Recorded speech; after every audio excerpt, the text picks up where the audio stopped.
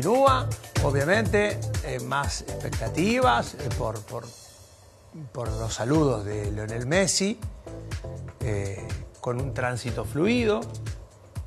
Y- Algunos dicen que se piensan quedar a pasar, algunos fanáticos, a pasar la Navidad ahí en las afueras. Hoy les habrá agarrado ese chaparrón Claro. terrible que atención Sí, porque se que va a extender. intenso, ¿no? Sí, y con descarga eléctrica además. La verdad es que yo sugeriría que vayan a casa pasar Navidad tranquilos. Sí, ¿eh? sí. Que Messi también lo va a pasar tranquilos, con sus amigos. Vi una foto del hijo de Mascherano también que publicó Tal cual. el Masche. Ya, están llegando más amigos también. Son más cercanos, no hay Claro. tanta expectativa por la llegada de ellos porque eh, no estaban a- al menos en el ojo informativo y van llegando y de a poquito se suman. Así que hay fiesta grande. Así